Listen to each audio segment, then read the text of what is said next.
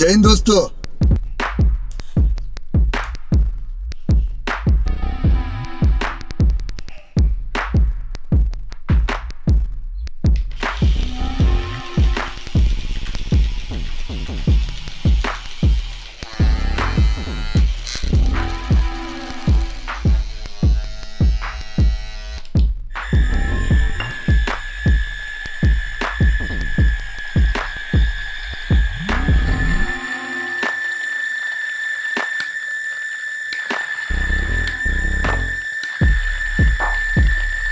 चलो भाई देखो अब मैं क्या करता हूँ।